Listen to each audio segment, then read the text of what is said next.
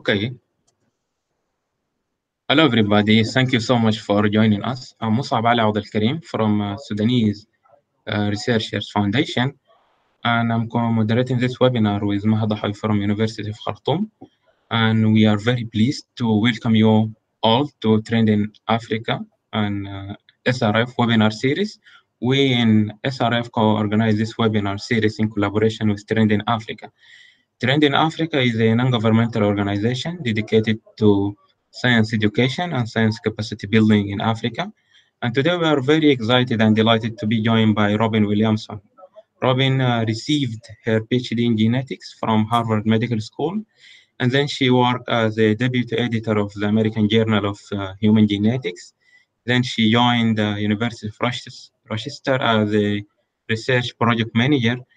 She also worked uh, as a lecturer at Tennessee Community College now, uh, Robin is going to talk about uh, genetics and our health. And she's going to start with the basic information about genetics, and then she will move to talk about how change in genes can cause uh, disease. Um, before we get started, I just would like to remind our audience that this webinar is designed to be interactive, so they can ask as many questions as they want by simply typing their uh, questions in the event page on Facebook or uh, in the comment section of this uh, YouTube live streaming. And the speaker will, will respond to their questions during the Q&A session at the end of this webinar. Robin, thank you so much for taking time out of your busy schedule to join us today. And now I'm going to turn it over to you. Great, thank you so much. Thank you so much for inviting me to speak. I'm very honored to be part of this Trend SFR uh, excuse me, SRF webinar series. Um, and I will get started. Um, so let's see. Um, okay. I wanted to start by providing my uh, contact information. So it's on your screen right now, and I will close with this as well. Um, that's my full name, so Robin Williamson. And my um, email address is rw001. That's a one. and it's kind of a strange font, I guess. Uh, so rw001d at yahoo.com. And please feel free at any time to send me any questions or follow up. Um, or if something comes up today that we can't go into discuss discuss uh, too much detail about, I'm happy to follow up later. Um, so again, thank you so much. Um, as Masaba said, um, the plan for today is um, to start with some uh, general information about genetics. So I'm going to start with, you know, what is DNA and what does it do? And go through a description of chromosomes and DNA and move into genes and proteins, and then talk about mutations and inheritance.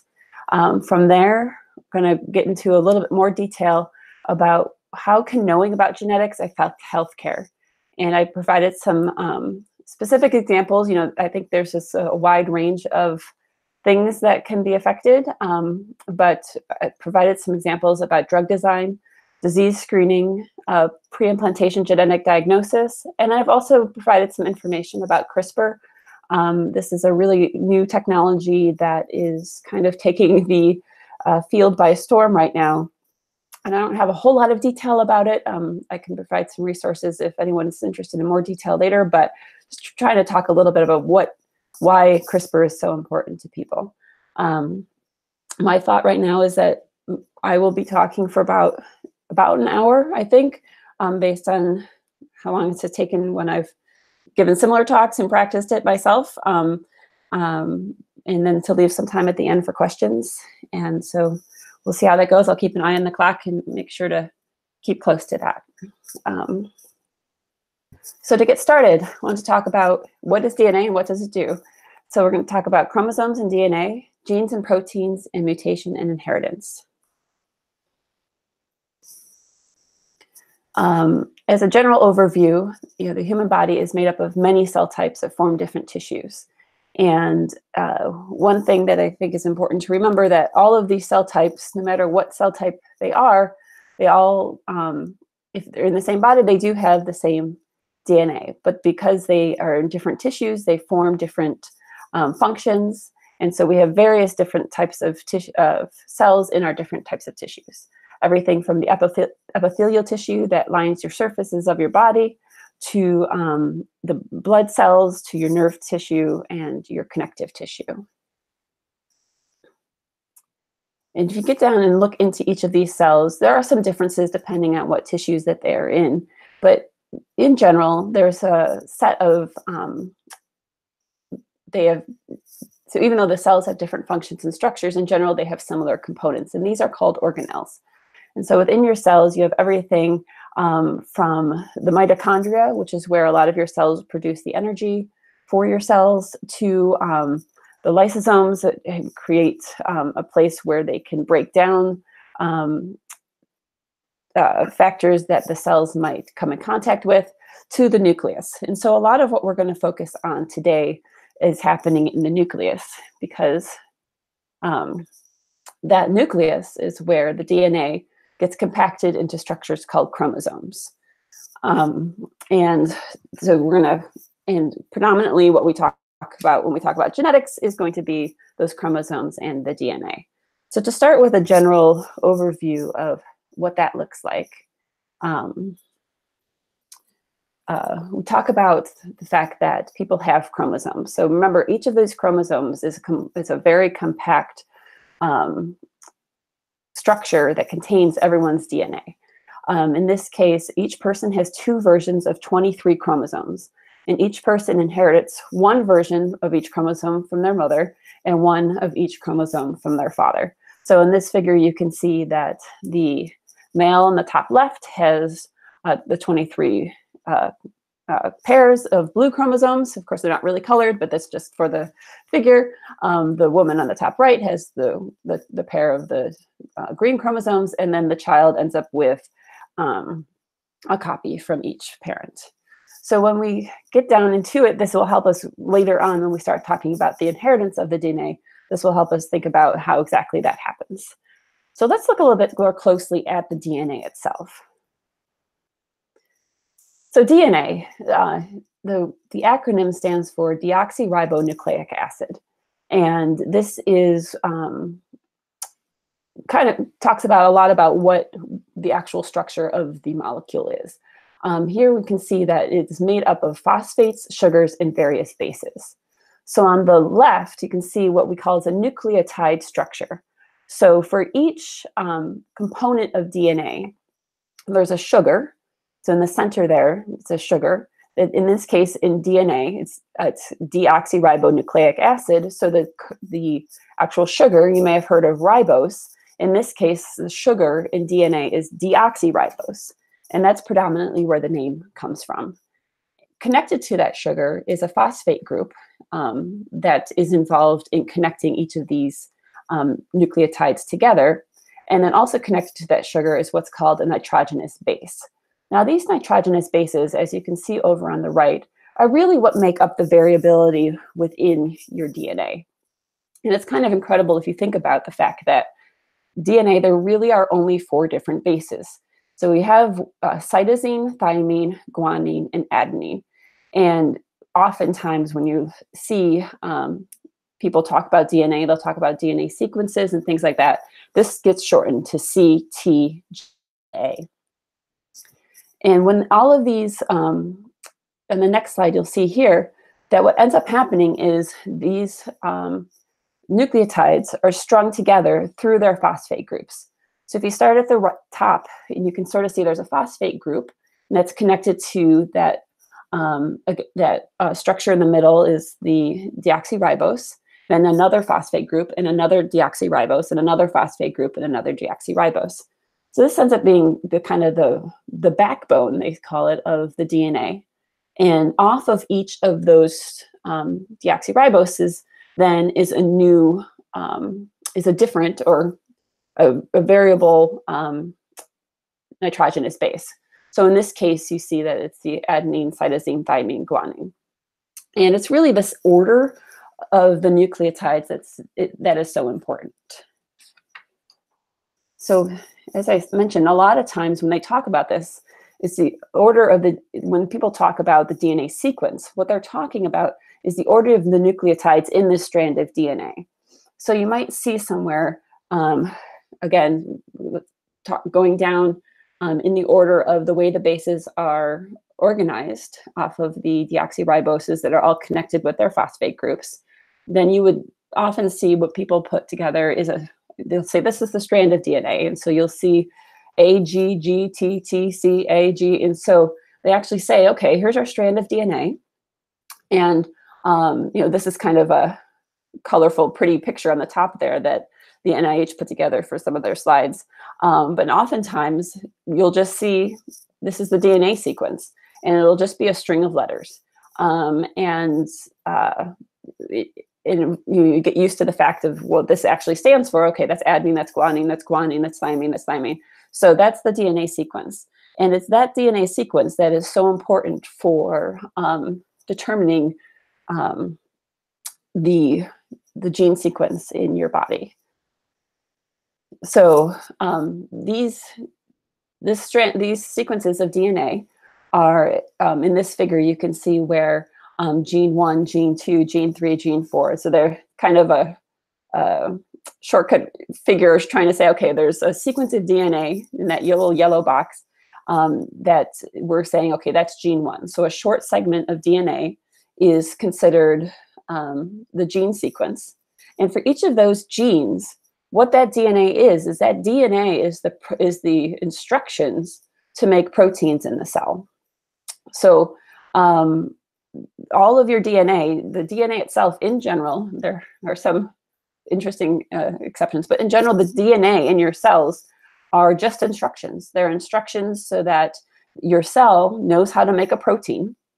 And then that protein is what does the functions of your cell and in all of the functions of your body. Uh, basically, the proteins in your body are what are doing all of the activities and functions. Um, so your genes, the, that sequence of those genes is so important because it is what is making the instructions for those proteins. Um, not going to go too much into the detail of exactly how that's happened. I do have plenty of slides with more information about the details of this, um, but um, this is kind of what they call the central dogma of genetics, is that DNA is transcribed, this is the word transcribed that they use, uh, to RNA, which is translated to protein. So, and there are some uh, plenty of details if you want to learn more about transcription and translation um, about how that works. But like I said, the whole point of DNA is to provide instructions for making the proteins in your body. So the DNA in in this in this um, figure, it's a little bit abstract, but the top, that larger darker blue circle is serving as the nucleus. So the DNA stays in the nucleus. The DNA gets transcribed into RNA, and then RNA leaves out into out leaves the nucleus out into the rest of the cell, which is called the cytoplasm. And then that RNA serves as the direct message that your cell uses to make a protein. So if you look down at the um, at the bottom of this in this figure, what they're showing is this mRNA. Again, that's the message that M actually stands for messenger RNA. They that that is a copy of the DNA message that was in the nucleus, and your cell machinery goes along and reads that message and makes a protein. And in this figure, it says the growing amino acid chain. So the amino acid chain is what is considered the growing protein. So here's another um, figure that talks about that a little bit differently because I just wanted to make sure that that um, the, the again the central dogma and exactly the, the general overview of how that's happening works. So you start with um, your DNA, and then that's transcribed into a messenger messenger RNA, which goes out into the cell and gets translated into a protein. And um, again, this polypeptide is another word for a protein, several amino acids put together makes a protein. Um, and so this is how the DNA serves as your instructions for the proteins. And I'm just going to go back again to this this slide again because I think that's a good good um, visual on the fact that each of those genes then um, is the instructions for a different protein in general. So how exactly does that work? You know, that seems like kind of a crazy um, it, and it is pretty complex, but it is kind of cool how it all works out that those instructions in the DNA get made into protein. So to give you a little bit of an overview of that, um, here is what's called the genetic code. And um, what's really in this genetic code is used across all organisms. This is completely universal.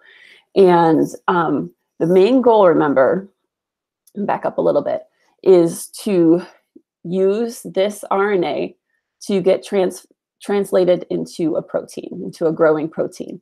Now, looking at this figure again, the one thing to note, and this um, this will become, you'll need to know this just for some of the upcoming slides, is um, the messenger RNA, you can see there's the, it's a direct copy of that coding strand of DNA along the top. Now I see the coding strand says ACT, GCC, CAT. And then you look at the messenger RNA and you say, well, Robin, it's not really a direct copy. it says ACU, GCC, CAU. So it's very much, it's very similar, but you have this part that there's a U's instead of T's. So this is important because um, in this RNA copy of the DNA, RNA doesn't have thymine. It has a base called uracil. So in this case, um, just so that you would know that the um, when you're dealing with the the directions when they get to the RNA level, they'll have U's instead of um, T's. So then let's look let's look forward on this again. So when you're translating that message to a protein, the proteins are made up of what's what are called amino acids. Now, again, there are only four nucleotides in DNA. And again, all of your instructions across all of your body for four nucleotides, which I just think is incredible. Of course, there's a huge variability in the organization and how long it is, and or you know, uh, you know, there's enough variability there, but still, we're only four. Um, in proteins, there are only 20 amino acids. Um, so 20 amino acids put together in different combinations in different order, different lengths, make all of the proteins in your body. And I just think that that's incredible. Um, so on the right-hand side of this slide, you see the um, list of the amino acids that make up the proteins in your body. So um, the, and again, of course, there are there are abbreviations that can make this more confusing. I think most of the slides I've stuck with um, all have the three-letter abbreviations. So the amino acid alanine is uh, usually referred to as ALA. Arginine is re referred to as ARG. Um, people will say ALA and ARG sometimes. Um, I think in general they stick to the three letters. And then to make it even more confusing, um, if until you get really comfortable with it, each of these has a one letter symbol, um, which of course, since a whole bunch of them start with A, they can't all have the letter A. So they've got some letters here that don't necessarily align directly. So if you ever see a protein sequence, um, uh, oftentimes it could be those one letter symbols and that's what that's referring to. Um, but I'm pretty sure I stuck to making sure all the slides here had the three letter abbreviations so that um, it was clear um, what, which, which amino acid we are talking about. Now on the left-hand side of this is the genetic code. And like I said, this is across all organisms. This is used to translate the, um, the instructions to the protein. So as your cellular, cellular machinery is reading along, if they see a U, if this machinery um, sees a UUU in the messenger RNA, it'll input a phenylalanine there. So if you see up on the top there, there's that UUU, the top left corner, phenylalanine. Or for example, say goes down, go all the way to the G column and down to um, almost all the way to the bottom, there's AGG. So say you see AGG, it puts in an arginine. Um, so this code again, is completely universal and um, provides the instructions of how the cell machinery reads the instructions of the DNA and puts in the different amino acids. Um, so here's just a look. I wanted you to be able to see, okay, what does that, what does the, all these amino acids even mean? Um, so in this case, um, if you can see that there's a uh, NH2 and a COOH in all of them along the bottom. And then amino and then the, the different branch structures coming up off of that are what make each of those different. So here's just a overview of the structures of the 20 different amino acids. And that's what makes up all the proteins in our bodies, which again, I, I just think is incredible. Um, so to give you a little bit of practice on how this works, and uh, I'm usually able to to see everyone, so I'll just I'll leave a few moments and and, and then I'll go on and, and tell you the next the answer. Um, is the fact that so here we have I wanted you to get a chance of trying to test this out. Um, so that we have a strand of DNA on the left in AGG, TTC, AGG, CAT, and I've translated that. Again, the DNA sequence is exactly the same as that. Um, so if you were going to use these this DNA instructions and the genetic code um, on the right there to determine what the amino acid sequence of the protein would be. Um, now remember, each of those T's, in order to use this um, code template on the right, would be a U. Um, so I'm just going to be quiet for a few seconds. Um, maybe I'll give 30 seconds. How's that sound? And just if, if you're interested, just see if you can put together what you think that protein sequence would be.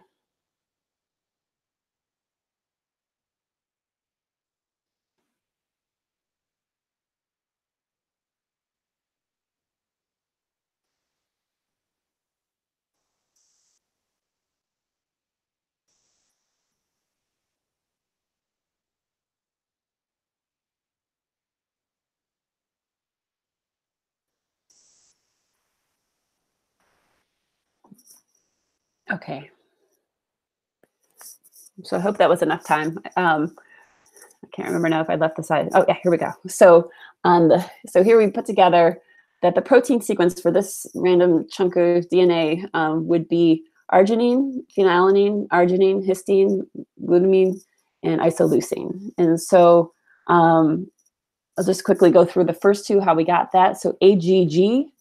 So if you go over to the to start at the first position along the, the first column, the third row down is the A, and then you want to do the G column, and AGG is down um, about three quarters of the way down. That's arginine. And then the next one is TTC, which would be UUC here, and that's up in the top left corner for the phenylalanine.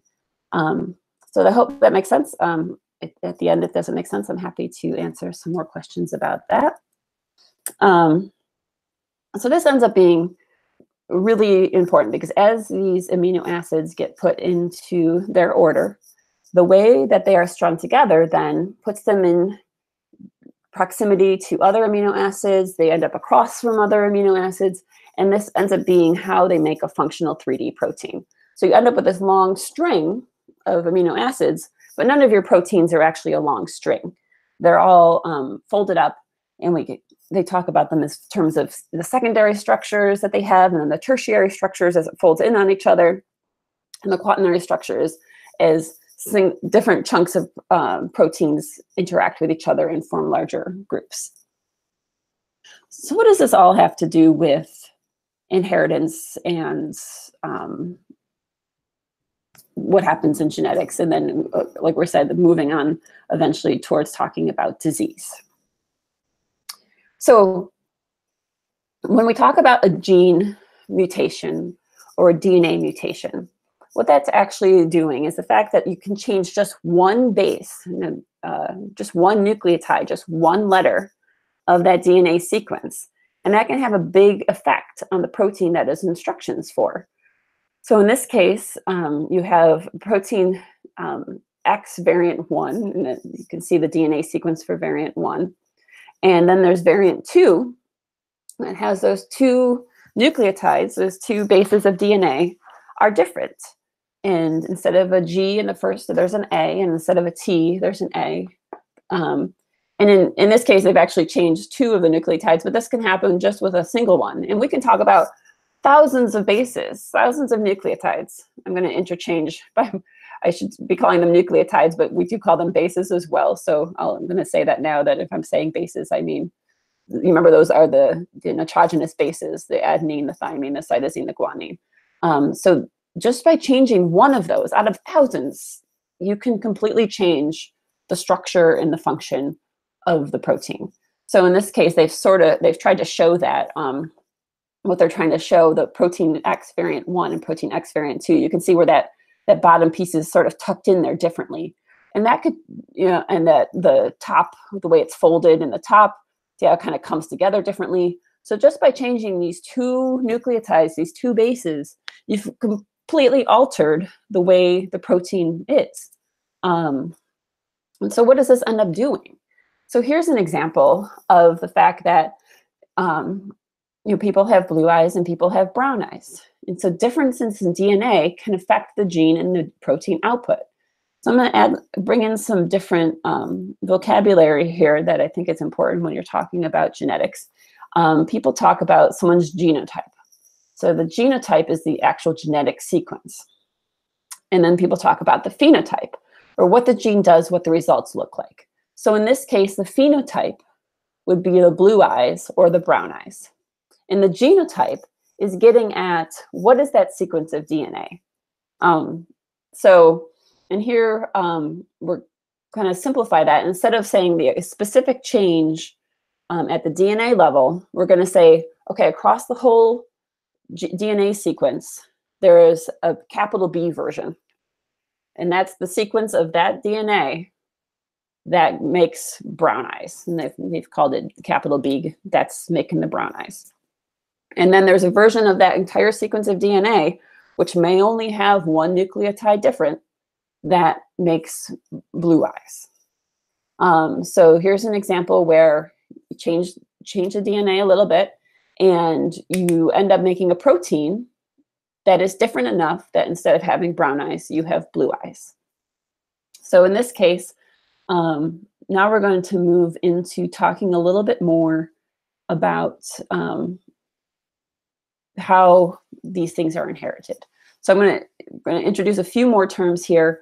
Um, we're going to go into this in more detail. So if this is a little bit um, confusing right now, we're going to talk about it in a little more detail. Um, but remember, we have two copies of each chromosome. So we have two versions, or they'll call them alleles, of each gene. So in this case, say your mom had the B ver the capital B version of this gene, and your dad had the, the little b version of this gene, then you might have a genotype of the big B and the little b. So then looking under the brown eyes there, you would have the big B and the little b uh, genotype. And in this case, brown eyes are dominant, so you end up with uh, brown eyes even if you have uh, a little b version in there. So um, we'll talk about that in a little bit more detail.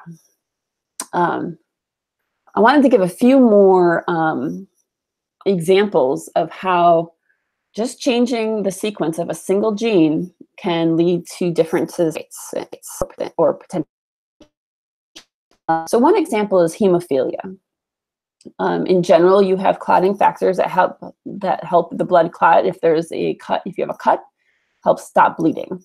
Um, basically, if you change a single gene, you end up with a protein that doesn't work, and you end up with abnormal clotting factors that do not function and can result in uncontrolled bleeding.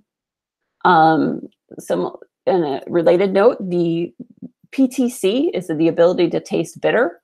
I don't know if you've ever, I actually used to carry these strips along with me. They can buy these strips that basically taste horrible. They just taste like very, very bitter. But there are some people, and this isn't necessarily a, a disease, but it's a variant in a trait where some people can't taste bitter. And so on the right there is PTC tasting. Um, there's a bitter part of your tongue that contains a protein that basically, if you have one version of it, if your DNA sequence makes one version of the protein, um, on the right there, you can say PTC binds and you're able to taste it. Um, on the left there, you have the your DNA sequence it's the instructions for the proteins a little bit different so that bitter chemical doesn't bind and you can't taste the bitter. Um, and it's really very fascinating when you have these strips of paper that come, you can buy them from a, a, a laboratory store. Um, so I, for example, can taste it. So if you, if you, if I put one of these pieces of paper in my mouth, it's disgusting. It's horrible. I hate it. Um, but my dad cannot taste it. He you he just it just tastes like paper to him. Um, so that's a really interesting, um, you know, you give someone kind of thinking you're going to play a little bit of joke on them and they can't actually taste it at all. Um, but it also has to do then do with, you know, he's able to eat more cabbages and things that are very bitter tasting. Um, whereas to me, I can't, I can't eat them. Um, and, you know, he doesn't taste th them the same way. So I thought, I just think that's a really interesting thing.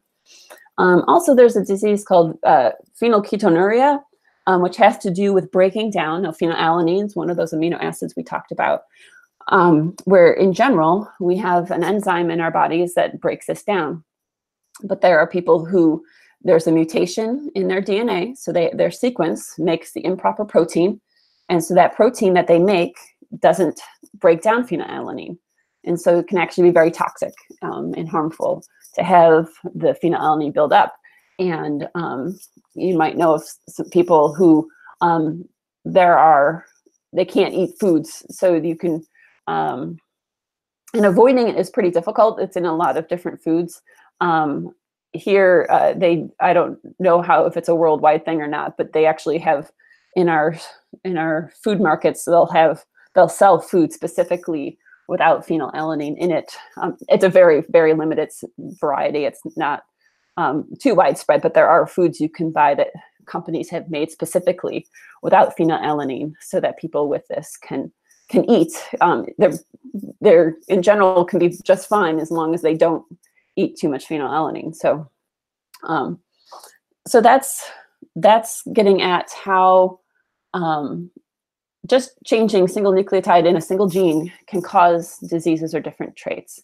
Um, now it's we're going to talk a little bit more about more complex things, but in general, these single gene traits are quite rare. Quite rare. Um, but there's certainly Huntington, Huntington disease, cystic fibrosis. These are examples of um, these of diseases that are caused by mutations in a single gene. Um, so I wanted now to kind of move into, okay, so we keep talking about the fact that DNA sequence is changed, is mutated. It's, you know, there's something different. So in this image, you see here the original sequence, and then um, since TAACTG, then you have what's called the, they're called the point mutation. So it's TAACCG, that T is now a C. And it's called a point mutation because it just happens at one base, at one point. Um, but you know, how does this happen? Like what what is going on there? Um, so there are very, in many cases, mutations occur spontaneously all of the time. Um, you do a lot of, you have to, every time your cells replicate, you have to replicate your DNA. And during that process, it's, there's a lot of repair mechanisms. There's a lot of uh, uh, self-checking that happens, but mistakes can be made. Um, and so this can cause mutations. Oftentimes, they don't necessarily, you have so much DNA that doesn't necessarily end up in a protein that you could have all of these changes that don't end up making much difference. But if it does, then you might have a problem. There are also changes um, that mutations can happen because of environmental factors like smoking or chemical exposure. And then, as we'll talk about moving forward, um, we're going to talk about the fact that often if you if someone has a mutation, then these can be then inherited from generation to generation. And this starts talking about um, the different inheritances that we'll, we'll talk about in more detail. Um, just to give some more examples about how mutations happen. Um, I, I think that this is a couple different powerful things here. Um, so let's start with on the left. Um, on the left, the normal sequence, the AUG, GCC, TCG, AAA, that, that's the, the normal sequence there. What you call as a silent mutation is the fact that uh, if you go back and look at the genetic code, both GCC and GCT tell your cellular machinery to put an alanine there. So here's a case where maybe a mistake was made in your DNA replication, but the instructions didn't actually change. So the, the, you changed that base from a C to a T, but it didn't matter because the um, the um, the, the, the machinery in your cells still put an alanine there. So it's in the proteins what matters, right? The protein, like we said, is what does the actual functioning in the cell. So when it came down to it, it didn't matter. Um, a nonsense mutation um, is, a, is a situation, and they, these can be quite um, devastating, really. Um, so there are also this, so instead of a TGC there that encodes cysteine, the cellular machinery knows to put cysteine there, there are a few things that are called stop codons. So this TGA, if you go back and look at the genetic code um, when you're looking at the webinar version of this, if you go back and look at that slide, you'll see that there's things called stop codons. And what this is tells this this tells the cellular machinery to just stop. You, the protein's done.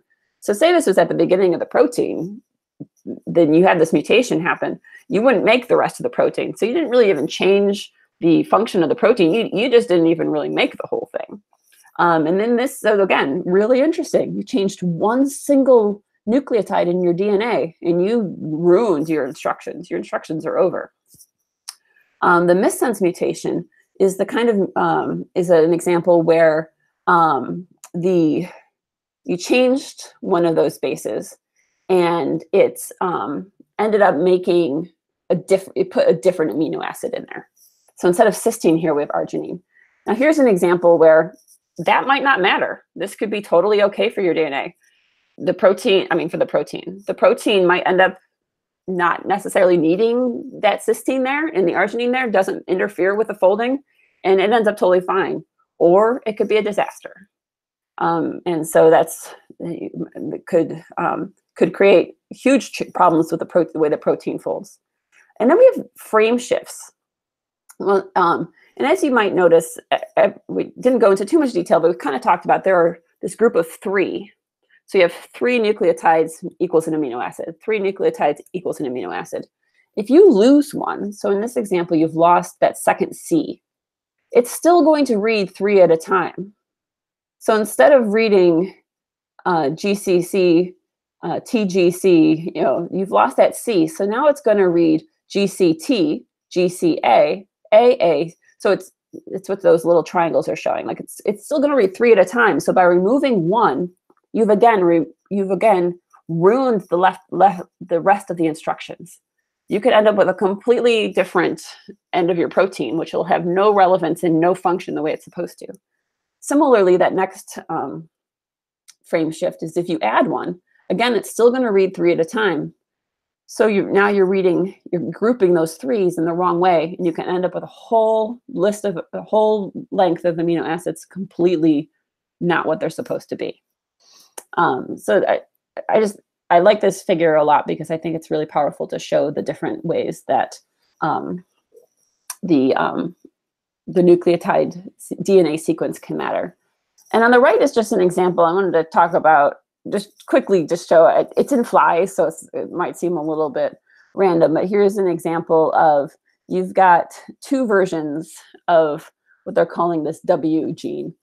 And I wanted to just show it because I like the fact. So on the left, in the in the you know the normal version, you end up with the the W plus version gets transcribed. remember, and then the RNA leaves the nucleus out into the cell, and that gets translated into this transport protein. So that's this little blob on the the edge of the cell here is. And because of that, pigment cells come in, and you end up making red pigment. But here's an example of on the on the right hand side of this you do, it's a mutated version of the gene. You don't get that RNA, so you don't get that transport protein. So those pigment cells can't even come into the cell, and so they can't make the red pigment. So you end up where usually the flies have red eyes, they have white eyes. I just like these examples of how the protein is changed. You know, the, the function doesn't happen.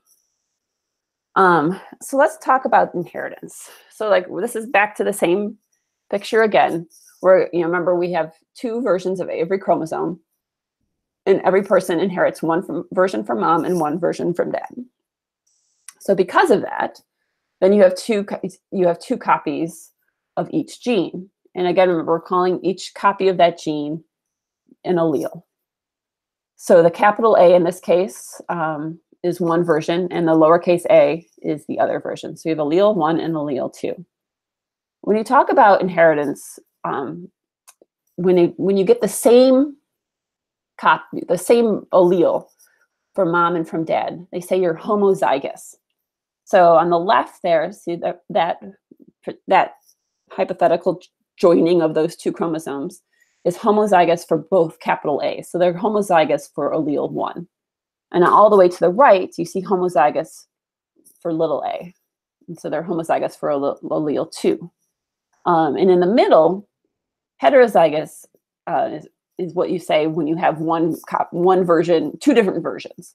So both of those um, potential combinations would be the big A and the little a. So what does this look like in, in when we talk about people actually inheriting things? So in this case, we're going to first talk about something that's dominant.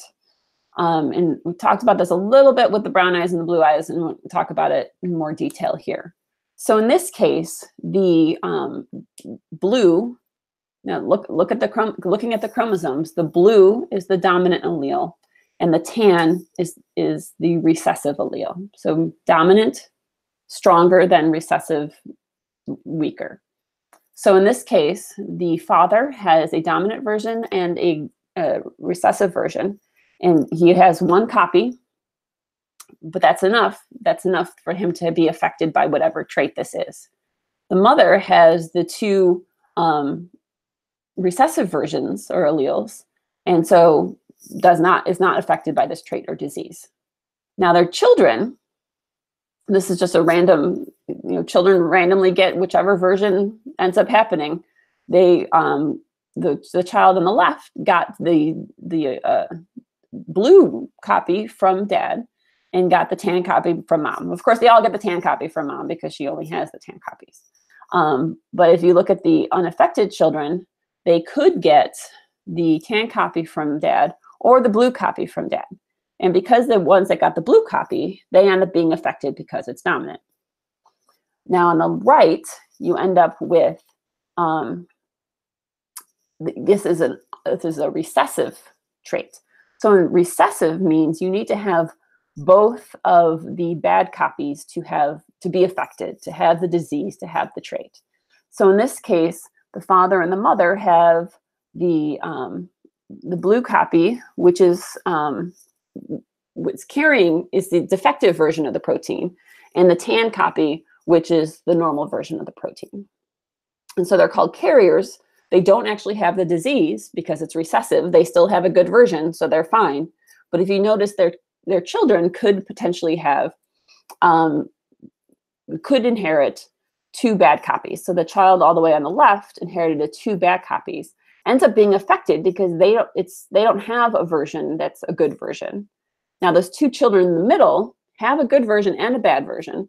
So they're not affected, but they're considered carriers because they can still pass the bad version along. Remember, they're not affected because it's recessive. The bad version um, isn't bad enough to make up for the fact that they have a good version. And then all the way on the right, the unaffected child has two good versions, so that they don't have any problems. Um,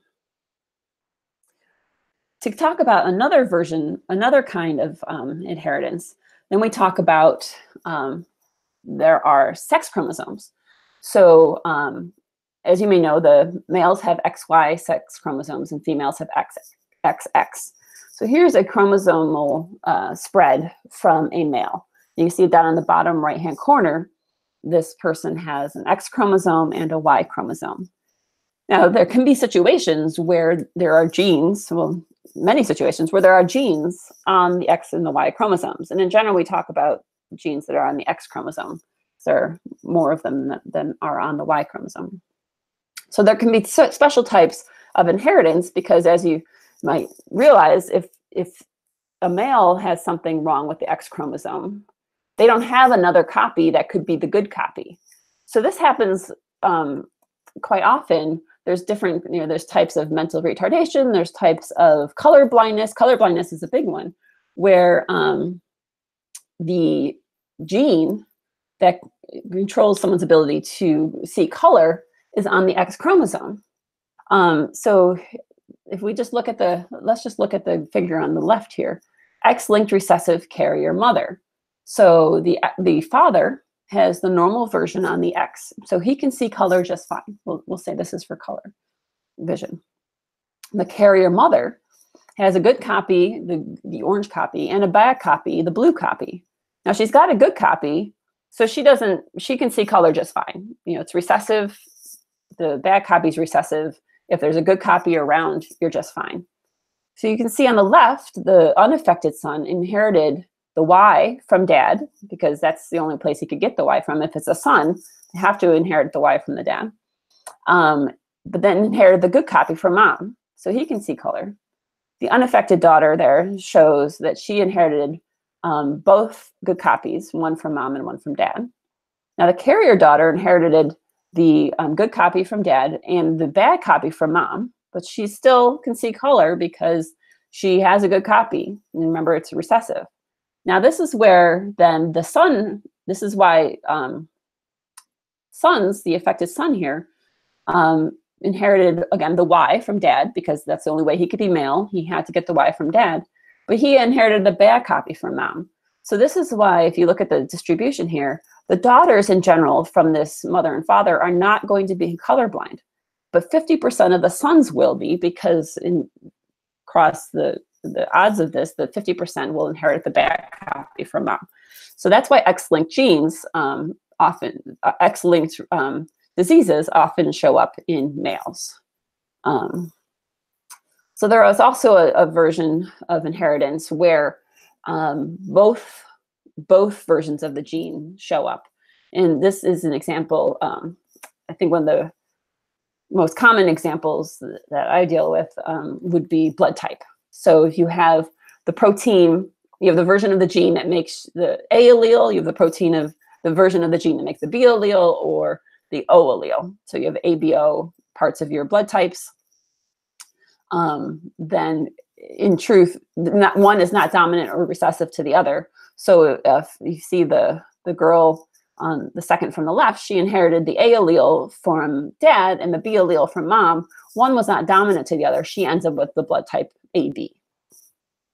Um, uh, oh, and this is something that happens in cattle as well, um, that you end up with, if you start with um, red cow in the, in the white cows, that they, when they breed, they end up with the roan cattle.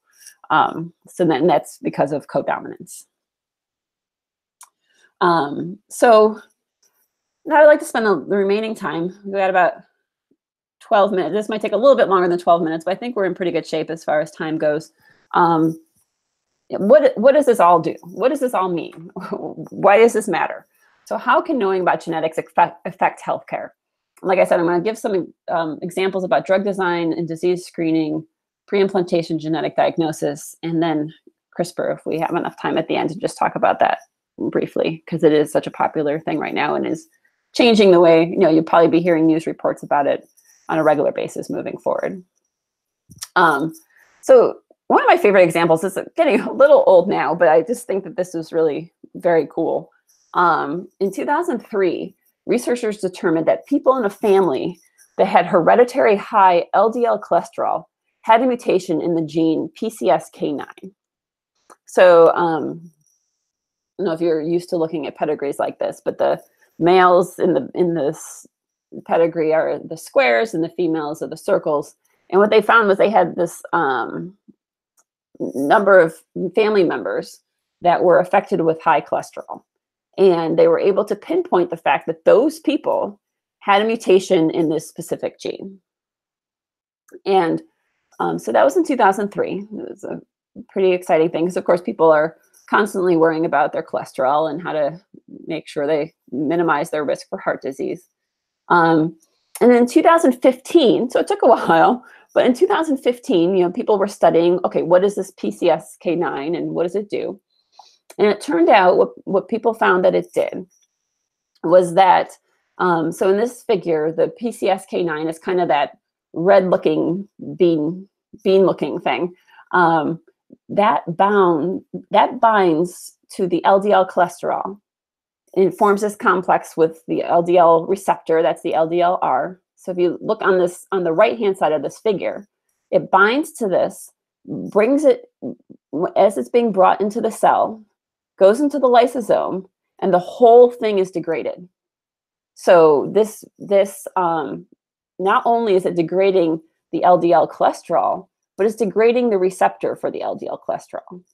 If you look on the right, the um, the way it usually works is that the little receptor, that little brown uh, U-shaped thing, goes. To, it's at the cover of the. It's at the cell membrane. The LDL binds to it, brings it into the cell, but then only the LDL particle is degraded, and the receptor goes back. So what you might imagine then is that um, in general, then the receptor keeps bringing the LDL into your cell to get degraded. Now, if people have a mutation and have too much, the activity of the PCSK9 is working too well, you're losing that receptor.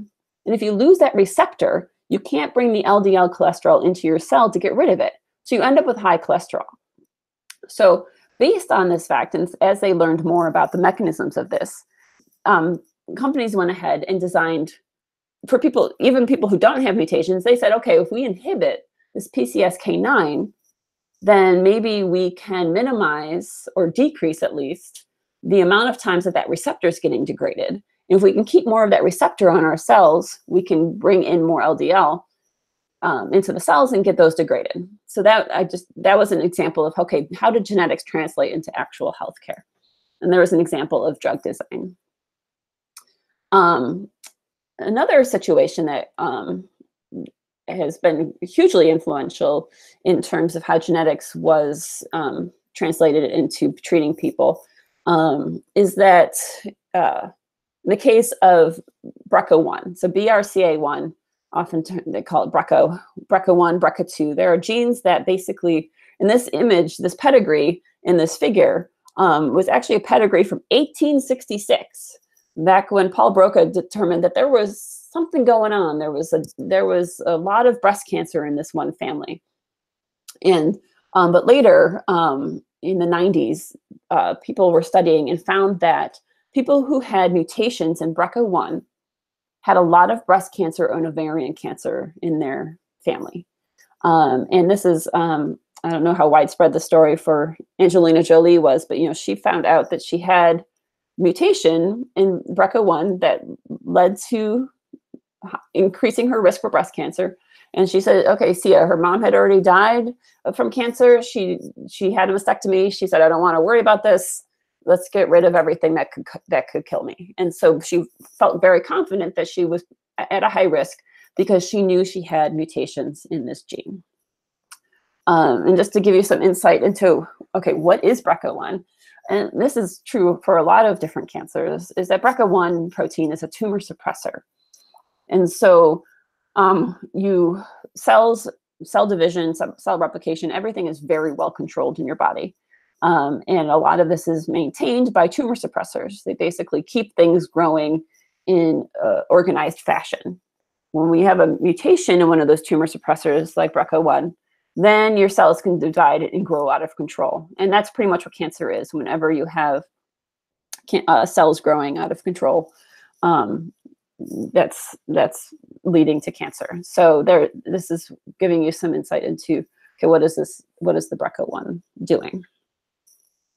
Um, and I mentioned before, this, uh, the cystic fibrosis is another example of um, a, disease that's caused by a mutation in a single gene. And so I kind of like this this figure because um, so CT, CFTR, that's the protein that's mutated in, in patients with cystic fibrosis. It's a channel protein. It's a chloride channel protein. And different mutations cause different levels of dysfunction. So um, I just I think this is really interesting. So basically, they talk about um, um, the for number one, there's no protein is made. So here's this is G542X. So this is basically saying this is our this here this is an example of our, our one letter codes for the amino acid, but that means it went from glycine at position 542 to stop codon. So remember I said, okay, that's really bad. You you didn't make the whole protein. Um, so you end up with not getting a, a channel at all, or you have some with no no traffic, or like number four, you have less function or less protein or less stable. So those are all different examples. And now because um, the um, the cystic fibrosis has been so well studied, they've really been able to um, pinpoint the function, the, the, effects of all these different mutations. And so that when people um, get tested, they know what to expect. There are certain drugs that work better for some people, depending on what kind of protein they've made.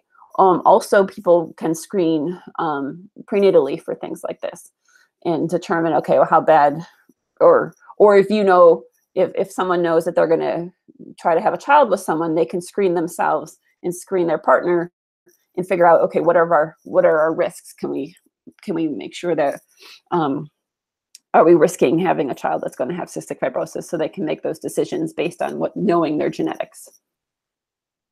Um, and pre-implantation genetic diagnosis is another example. And again, I don't know how widespread this is across the world, but this is something that happens in the United States for sure. Um, that there are, so this is actually a, a, picture of a friend of mine's child.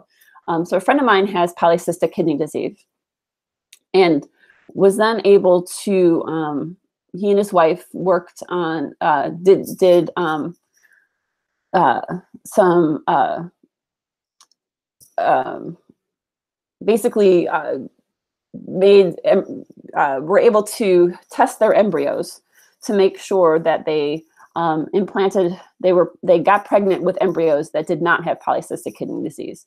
So they're basically able to take embryos and test them with test the genetics of them and determine which ones um, have the disease and which ones don't. So here's another example of how uh, genetics can inform decisions about um, about uh, the health of uh, prenatal health. Um, so all of this that we've been sort of talking about is talking about again the diseases that happen in because of a mutation in a single gene. But in general, it's not actually all that easy. um, there's plenty of diseases that are caused by mutations in single genes, but most traits are quite complex and they do not result from mutation in several gene in a, in a single gene. In fact, they have they're they're the result of variants that in across multiple genes, and they have influenced by environmental factors. And all of those things combine to increase the risk of someone to have these problems. They vary from cancer to asthma to diabetes to heart disease, um, bipolar disease, schizophrenia, uh, ulcerative colitis, all sorts of things that you know you might hear that people have certain diseases um, they're not really necessarily there might be some prevalence in their family but it's not directly like okay mom had it dad didn't have it. If we look at the look at the hereditary the the heredity of it on the inheritance of it we can say for sure oh this must be because of one one gene um, so what happens in those cases so in these cases this is the same figure as before um, but I just want to say it in a different context. So in, in complex traits or diseases, there's a single change in the DNA um, that doesn't cause the trait, but instead it contributes to an increased risk of developing the trait. So again, exactly the same thing. You might have a variant, the protein variant one, protein variant two, and variant two doesn't necessarily cause you to have hypertension, high blood pressure, but it might make you a little bit more likely to have it. So what does this end up looking like? Um, um, there, there are, and this is, you know, this is somewhat in the last 10, 20 years that this has been clear that although the majority of the DNA in two different people is the same, there are millions of nucleotides that can vary, uh, vary throughout a population and just cause normal variation. Um, and so this is um, from what's called the HapMap, um, so each of these RS numbers, RS790125, all, all of those, they call them SNPs, single nucleotide polymorphisms. And, and this is just the arrow across the top there is just standing in for a length of DNA. And every, you know, each triangle, there's a SNP there, there's a SNP there, there's a SNP there. So each SNP, again, single nucleotide polymorphism. So it's a single nucleotide of DNA. And polymorphism, polymorph, means it can be present in more than one way. So there could be 45% of the population have an A there, and the other 55 have a T there. And in general, it doesn't necessarily uh, make a dysfunctional protein. Everybody works just fine, but maybe it has a little bit of a variation. Maybe we don't know what it does. Maybe it means that my hair is a little bit blonder than someone else's. It's, you know, there's a various, various contributing factors. Um, and here, I, you know, I just went through and found some, this is from February 2019, Nature Genetics. You could pr probably go to just about any um, issue of any of the journals these days and find these um, studies. This is brand new, a recent genome-wide association study that identified 64 of these variants that were associated with an increased risk of developing osteoarthritis.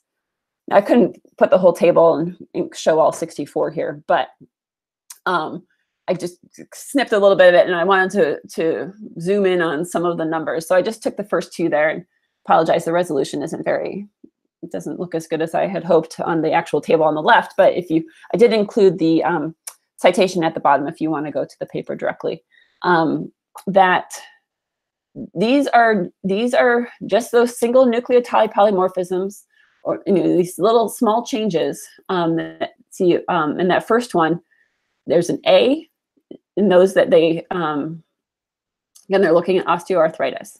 So an A increases your risk and a G does not increase your risk. So that's what that very top line is.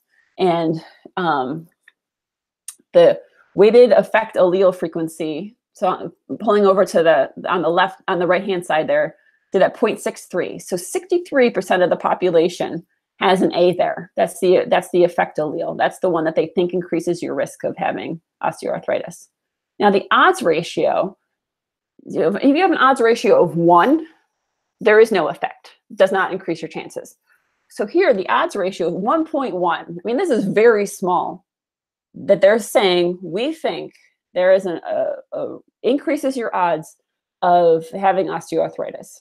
1.1.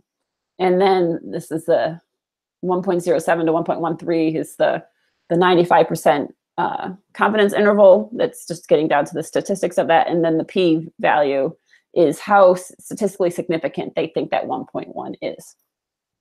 So I just wanted to include this to show you that they have found 64 variants that they think are associated with increase, increasing someone's risk very, very small um, of developing osteoarthritis. So basically, in these ideas, it would be thought that you would need to have the risk version of a whole bunch of these, you know, probably way more than even these 64, in addition to additional environmental factors to really end up being someone who develops osteoarthritis. So that's really one of the big things that's been happening in the last 15 years in genetics is people have been really their methodology for identifying those single gene mutations like the Huntington's disease, that cystic fibrosis. You get a mutation, you get that disease. The methodology for doing that is pretty well set. But this kind of thing where they're trying to look at these really these variants that are contributing this really small uh, risk, this is this is and it becomes a factor of numbers. I mean, they're talking, they're looking at thousands of people, comparing thousands of people with osteoarthritis with thousands of people without it trying to get at these details. And so your statisticians become really, really important. Your data management becomes really, really important.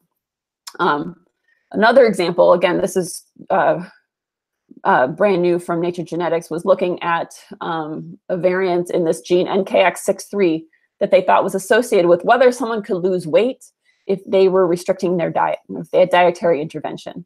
So it's on the third row here, this NKX63. And you look over and you see these are the p-values. They didn't they didn't put the odds ratio in this table. Um, in your your parentheses there, they're you want to be less than 0.05. That's what it comes down to. And so they decide we think there's something here for this NKX63. And notice they've compared. They've got one data set of 1,166 people and one data set of 789, and they're barely. I mean, there's still the statistical power to get this is is really um, they've done it, but you know, again, large, large population data sets to do this. So they decide that there is something um, that there's something um, that potentially that's contributing. And so now what they do these days is they do a functional study. Say, well, does that make sense? Is it possible that this NKX63 would be have some effect on someone's ability to lose weight? And here they did a study, and you know the actual details of this aren't necessarily too important, but they basically what they're showing here is the um, in in this figure it's HGTX because that's the Drosophila version. Again, they've used flies um, to try to do a functional study, and what they basically show is that it affects the see the the blue the height of the blue columns there. It affects triglyceride levels. So they're saying, okay, well, this does seem to have an effect on something that could be related to um, lipid metabolism, which could be related to the fact of these people showing dif- differences in how they uh, lose weight. So um, this is very much where the field has been focusing on for the last um, 10, 15 years. So um, I think that, you know, that's pretty much where I wanted to leave um, leave that um, leave the discussion of the inheritance and everything. That's uh, that's kind of what I was hoping to get to, and then just I'll take a quick minute to talk about um, CRISPR and the fact that the, the reason that CRISPR is being uh, talked about, and I, and I do want to just show this slide at least because at the bottom there you can see um, the reference to a book um, that I think is really great. Um, I just read it a couple days ago, a couple weeks ago. Um, and, and, this Jennifer Doudna is one of the people that you know is is the inventor of this CRISPR methodology. Um, the reason that it's being looked at is it is able to take. Um, see on there, these are figures directly out of her book, which I thought were cute because they were look like they're hand drawn. Um, the non-functional gene and basically precisely repair it. And this has been something that all the gene therapy approaches really have not been able to do previously. Um, and so they're able to, um, what people have done previously, and this is for GMO agricultural things and things like that, is that they'll do a transgenic approach where they'll introduce a separate gene. And so you can see there on the bottom of the left there, the gene addition. They've introduced, say, a gene that's going to make a strain of corn resistant to infection by some sort of virus. They've introduced it separately. Whereas instead, with CRISPR, they call it that's why it's called scarless because there's no there's no sign that it even happened. They're able to change that AT to a GC and maybe make it so that the corn is is resistant itself. It doesn't need any external additional genes. Um, so I just wanted to show to talk about that a little bit. Um, I uh, let's see, I I don't want to take too much more of your time, but um, here's an example of in livestock, how they're already been using CRISPR to make um, virus resistant uh, pigs, or they genetically dehorn the cattle so that the, the cattle don't need to be dehorned, which can be pretty traumatic for the cattle, um, or making um, hyperallergenic eggs. So here's some examples of things that they're already doing. Um, and the, but the controversy then comes in with treating humans.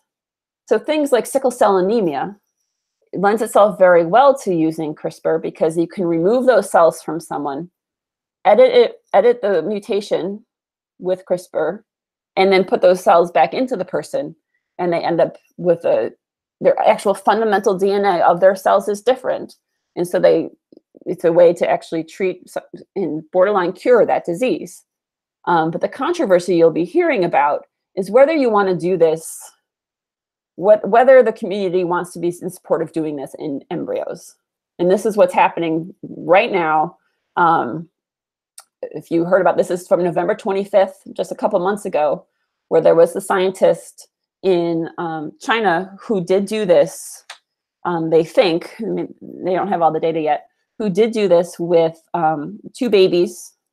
The, the, the report is that there have been two children whose embryos they were born from embryos that were edited at the embryo stage. And this has been hugely controversial. The entire community has not been in support of altering um, embryos at the genetic level.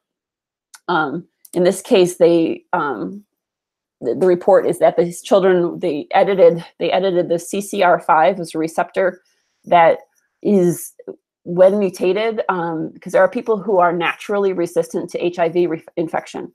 And so in this case, he the the lab, the the the report is that these children um, at the embryo stage, th- that receptor was mutated in those children so that they would not be susceptible to HIV infection.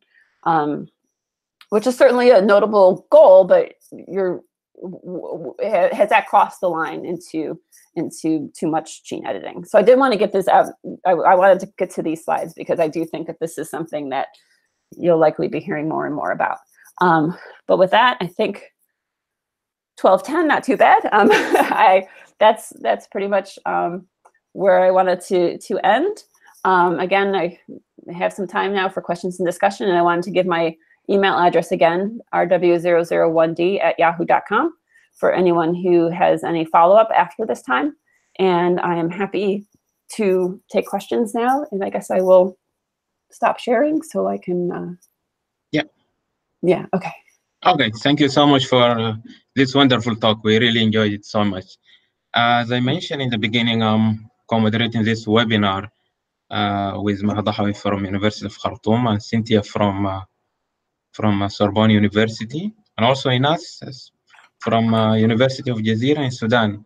So I don't know if you have some comments or questions before we go to the questions from the audience. Mm -hmm. Yep. Would you please raise your voice a little bit, Maha? I, I can hear you very well, actually.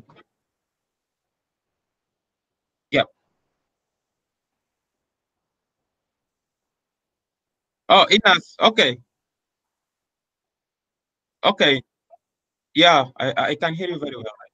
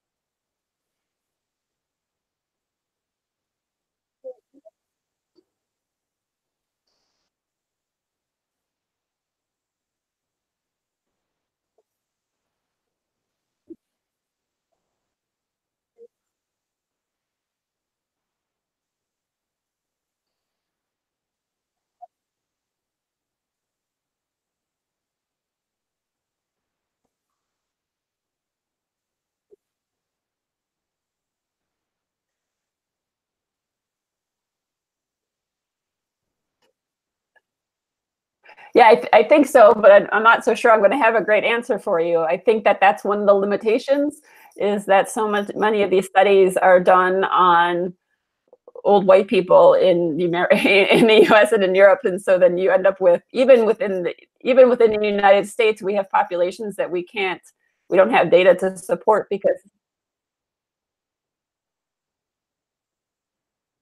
I, I think the most um, I, I think that um, unfortunately I don't have great guidance other than the fact of that we need to be in more support of these studies involving populations uh, from across the world to to collect that kind of data.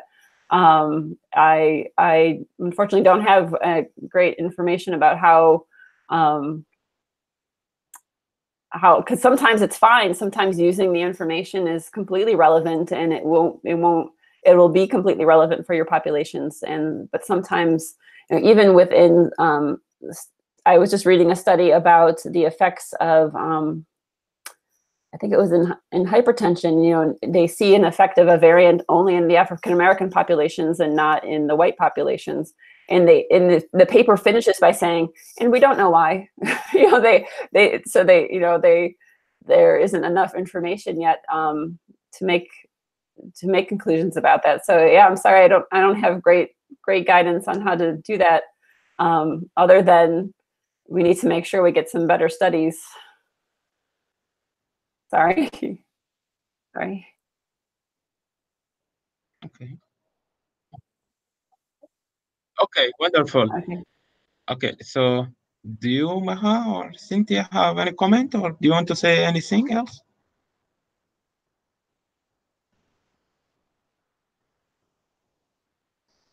But why I can't hear you? uh, ca- Can you hear me, Maha? But I don't know why I can't hear anybody.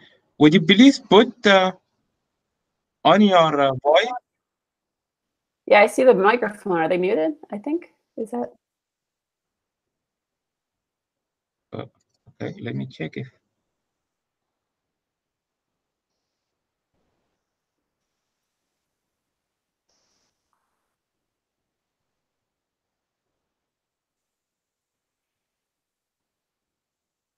Yeah, yeah, yeah, yeah. You can.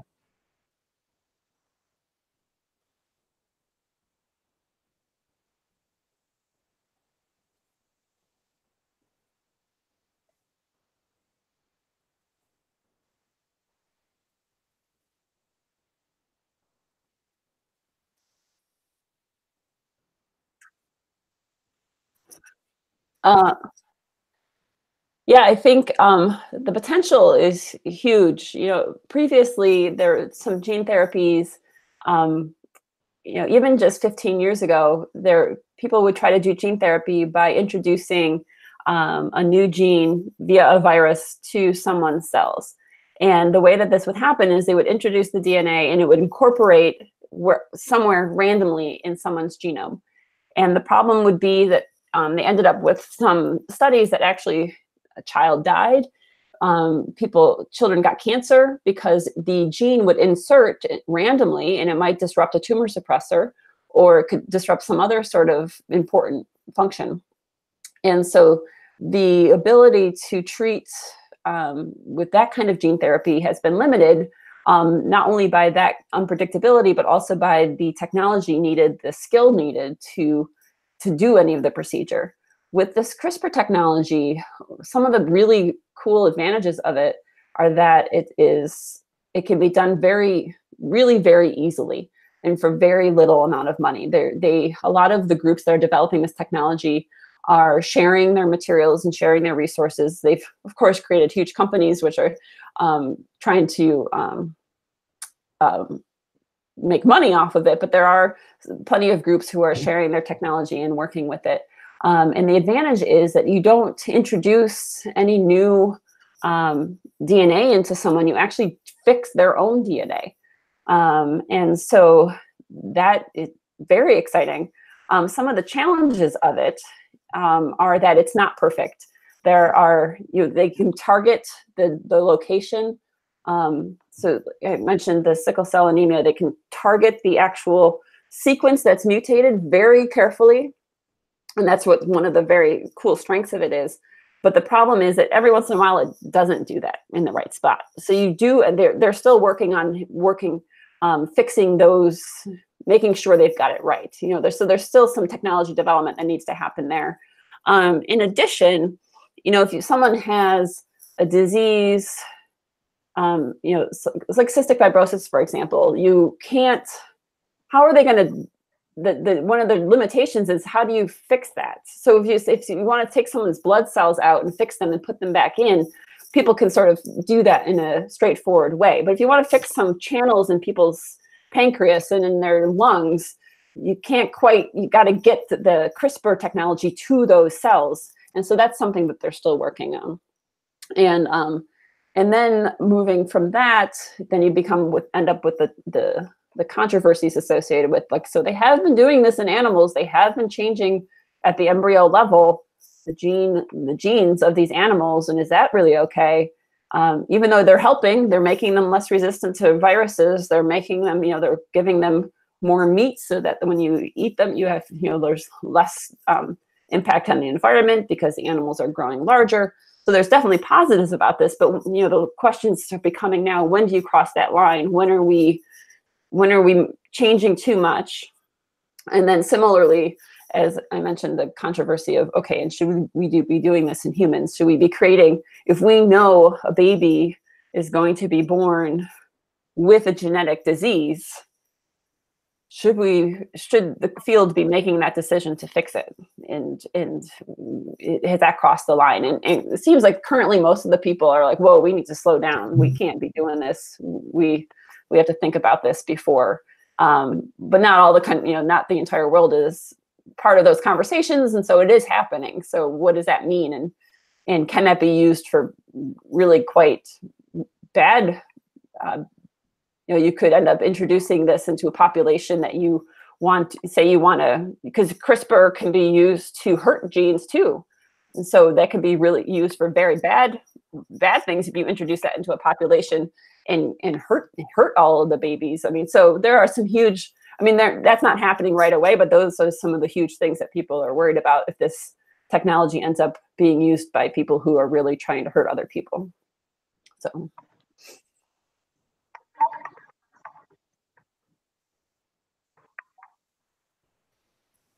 Mm-hmm.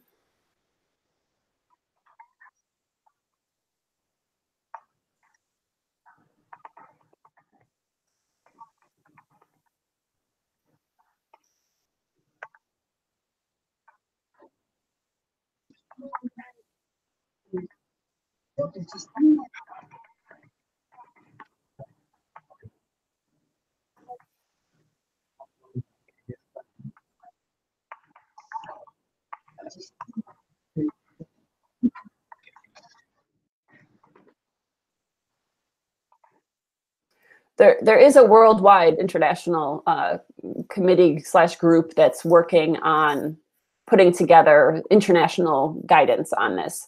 Um, but I don't. I think the issue is that not necessarily all of it's a worldwide international group, but not all of the countries in the world are participating. Thank you. Thank you so much. Oh, okay, wonderful. So, Maha, Cynthia, are you able to? Okay. You, you can hear me? Yeah, we can hear you very okay. well. So, yeah, you're welcome. Yeah. Thank you so much for uh, your talk. Uh, I enjoyed with the question of uh, Ines. I have um, a question as well regarding the ethical uh, issues because uh, now we can see the development of uh, DNA testing uh, anyone can have access to uh, DNA testing, at least for the inheritance uh, to find their parents, or and now I think they, they speak about this for uh, to find uh, uh, for susceptibility of diseases. Mm-hmm. So, what is your point of view regarding this? Um, companies that want to to do this DNA testing um, so you mean things like 23andMe and things like that? Yeah. Companies that basically say you're going to be high level, high high risk for high blood pressure or things like that, or mm. um, I think. Um, I guess, well, I guess, so from my own point of view, I think a lot of it, um, some of it's more clear cut than others. You know, if you find out that you do your genetic testing and you see that you are a carrier for mutation in the gene that causes cystic fibrosis. I think that that can make help you make really good decisions about having kids and what do you want to make sure you do about that, um, or just so you know about it. You know, I just think a lot of times helping to know about it. Um, I think a lot of the companies right now um, create a little bit of confusion. I think that they um, oftentimes, you know, there's some fun things like, oh, you have different kind of earwax or you have you know so those sorts of things are not necessarily going to create too much stress in someone's life but the, the to be able to say you've you've got this variant and it's going to increase your chance for high blood pressure um, kind of like similar to what i talked about sometimes that variant may be reported in increasing high blood pressure but it's but it's so in, incremental you know the risk that is raised is so small that people get freaked out about these things. And so I, I just think it's a without the without someone telling you yes this is the case but it's not really doesn't necessarily mean you're going to have this trait or this disease um, i think it could be kind of dangerous i also think that some of the companies are providing the data that they have, I mean, it's such a, a field that's changing all the time. And you might have three papers that said this variant does increase your risk. And there might be nine groups that say it doesn't. But those papers, of course, don't get published because no one publishes a paper when there's not cool results. And so then you've got the companies making sharing this information based on only half the story. So um, I think a lot of it's kind of cool, but I think a lot of it's a little too early to have been sharing it with people who aren't going to know all of those caveats and who aren't going to understand that this isn't really the answer. Um, so I guess that's kind of what I think. I think it's fun because it's genetics, and of course I like genetics. But if if you're sharing that with people who don't have a huge background in genetics, and they're basically told, "Oh, you're going to die of high blood pressure based on this one variant that somebody reported," then that's a problem. So, yeah, yeah. Thank you. Thank you. Okay, so I have a question. If I okay, you're welcome. Yes. Uh, uh, first of all, I want really to thank you about this very informative session. We really enjoyed it Thank so much, and we cannot be uh, more grateful to that. My question is just following your discussion about that any variant. Some some people can say, well, it's pathogenic, and that's why people now are, I think, uh, heading to to detect functional studies to just uh, see the validation, especially in in diseases that so far so many genes were reported for example, I am working on uh, genetics of epilepsy, and uh, there are so many genes that were reported in genetics of epilepsy. And now we are, uh, as you know, that uh, epilepsy is more now like an oligogenic disease more than a monogenic disease from so many points of view, according to the recent studies. So we were searching for a model that can have some answers and can adopt to the African population so that it will not be as expensive as the mice models and uh, something can be applicable. And now we are working on the C. elegans model uh, as, okay. the genome of the C. elegans is sharing more than 40% of the human genome. So my question is that uh, the thing that we are thinking of is that epilepsy is an oligogenic disease. And when you are trying to apply two or more genes into the same genome of a worm, then they will have you will have many difficulties to detect the phenotype that will result out of introducing more than one gene. So my question is that do you have any relevance in other functional models that can answer the oligogenic question of functional studies? I don't know if I got. Uh, if no, I, I, understand you, and I wish I, I wish I did. I, I unfortunately, I don't have, uh, I don't have much information about that at all. Um, have, are- are you, is CRISPR going to be potentially useful to you at all to be able to introduce multiple? I, I'm, I don't, I don't know. So I guess I'm just going to ask you as far as. Yeah, if- this if is that- what we are trying to do now. We are trying Yeah. to apply uh, CRISPR. We we are not successful yet, so we we just No. started by silencing the genes, like uh, Yeah. loss of function. But for the CRISPR, we are trying to to introduce it to the lab, and we are thinking about if you introduced more than one mutation, how can we be able to decipher it at the level of the phenotype? Because it's Yeah. not like a straightforward one uh, one introduction uh, method, and uh, this is this is my dilemma. So yeah. Yeah, no, yeah, no, very complicated. Yeah, I'm sorry. I don't have much experience in that at all. I'm sorry. I will go to Valeria for her question. We have another student with us. Okay. I, am sorry we missed uh, the presentation, so I didn't have time to, uh, to present myself. I'm working with Maha and uh, Cynthia in the Brain Spine Institute.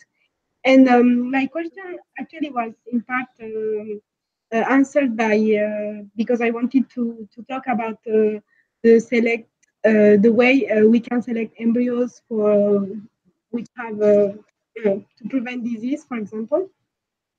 And um, and I wanted to know, uh, I don't know if you answered that already. It's that um, are, are there uh, the, are there laws in the United States, for example, to prevent uh, people from selecting uh, the embryos, but not for disease reasons, but for other reasons, like um I don't know, they want uh, children with A girl. hair, uh, you know.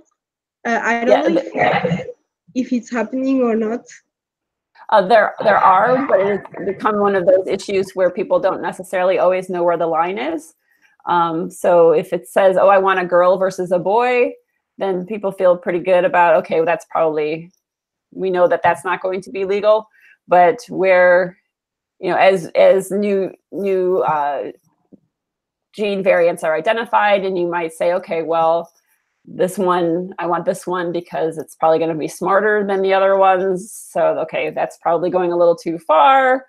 This one has polycystic kidney disease this one doesn't. Okay that we feel pretty good about. So finding that line is something that people are discussing and struggling with right now especially now that the ability to make those modifications um, might be happening in the near future. So, Yeah. Yeah. We are Thank you, going. thank you very much. Thank I'm you. sorry. We are going Okay. uh, to Cynthia back because she will read the, the questions uh, of the audience from the, Oh, from okay. the YouTube. So Okay. we're, yeah. So uh, a lot of people excited on YouTube, and uh, they all say nice to meet you. Good to meet you all. So uh, let's see. So uh, Raindrop is asking, um, is uh, how come the Y chromosome is not vulnerable to inherited diseases compared to the X chromosome? And Uh, okay. uh, uh, and he has a question, like, is it related to the mitochondrial sequence? Okay. Um, so I, I think um, the the biggest difference between the X chromosome and the Y chromosome is that the Y chromosome is very small and doesn't have all that many genes on it, um, which sometimes leads to funny jokes that we tell. That and uh, I don't know if that's across the world or not. They're like, oh well, see, men have the Y chromosome; they don't have very many genes on that. Well, women have two X chromosomes. Clearly, we have more going on. Yeah, things like that. Um, but which, of course, is not true. Um, but well, um, well, but it is true that the X chromosome has more genes on it. So um, in those cases, um, if a, a more more functional genes on it. So if you have um, a gene that is mutated on the X chromosome, then you're just more likely to have problems in males than than um, than in females. Um, there are there are some situations. Um, I think there's uh, uh, the one example I'm thinking, you know, there's a gene on the Y chromosome that um, has to do with a testosterone receptor, and so if that's mutated, um, then you have trouble uh, with the body responding to testosterone. And yes, that happens um, only if you inherit a Y chromosome, so that only happens in males as well. Um, I think one of the interesting things that happens with X-linked uh, diseases is because of this fact that you can have women carriers not even know it's a problem until they have sons who end up um, end up having it. Whereas with the Y-linked things, the, the fathers would all be affected as well. So um, I, I think one of the reasons that X-linked was kind of a interesting thing for a while was because of that. Um, the mitochondrial is a bit separate. Um, so the mitochondrial is when you would inherit something from the mother. Um, uh, for those listening who might not know, the, the mitochondria um, are those organelles in the cell that create the cell's energy, but they have a separate circle of DNA.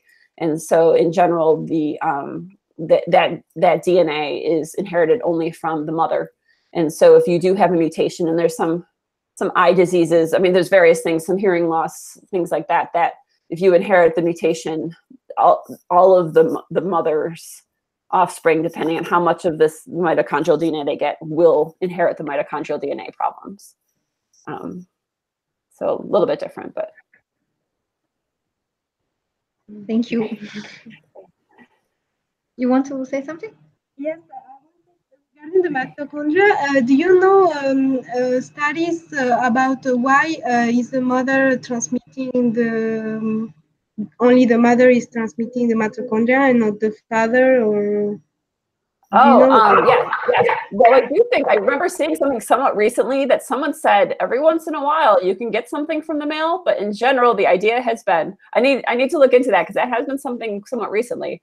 But the general idea is that because the sperm is so small, none of the um, organelles other than the nucleus and the DNA are part of the fertilization, and so when you fertilize the egg, the egg ends up with the mitochondria of the mother. So then you're you're carrying on the mother's mitochondrial DNA because that was what was in the fertilized egg. um, and, and it's not coming with the sperm, so you're not getting that brought from the male. Okay, thank you. You're welcome. So let's uh, ask the other question about. Y- Yeah, I think uh, Muhammad Sadiq Taib already um, uh, asked the question about the Chinese scientists. I think you commented on that already. So his question was that Chinese scientists used the CRISPR-Cas9 to remove HIV gene. What is your scientific view and ethical view? I think you already commented on that. If you want to emphasize more uh, to, to, uh, to Muhammad Sadiq. Yeah, yeah, I, I think that um, right now the the the worldview um, from people who know much more about it than than I do, the worldview is that we're not ready to start modifying things at the embryo in human embryos. Um, one, you're making a decision for that embryo that won't be able to input anything, and two, the, the implications of what can be done with that are are very very broad. So um, I think right now the idea is that even though, of course, this person did not, they did not mean any harm, and these babies will be potentially very um, will benefit from this. The the thought right now is that to that there needs to be some guidelines created before that kind of stuff happens. Awesome. So uh, thank you. So uh, Usam Abu Gabr. I don't know if I'm sorry. Hussam Abu Gabr. I have to work on my pronunciation. um, he's asking a question about uh, ALS. Uh, so, Okay. can you tell us about uh, amyotrophic lateral sclerosis and the related potential genetic therapies? Oh no, I'm sorry, I don't, I don't much about ALS. Um, I can look into it more and, and share that later if it's of use to anyone. But I don't, I've I've never really studied ALS at all, so I'm sorry. So So I think uh, we came to the to the end of our questions on this part. We go back to Mus'ab to see if uh, he had more questions on his part. okay, Okay. Thank you so much. Thank you. thank you. Okay. Uh, I think we don't have any other questions. Uh, so I just would like to say as a reminder, this webinar will be available in our YouTube channel. So, and also on behalf of uh, SRF and TReND in Africa, I'm very grateful to you all for being here today with us. And thank, you so you. much for your time. And uh, at, the end of, at the end of this uh, webinar, as usual, for our uh, audience in Sudan, I would like to say لما الشهيد ما راح كل النزيف الساح لابسينه نحن وشاح مكتوب عليه عديل فليزغط السفاح. حرية سلام وعدالة والثورة خيار. الشعب Thank you everyone and bye for now Thank you very much.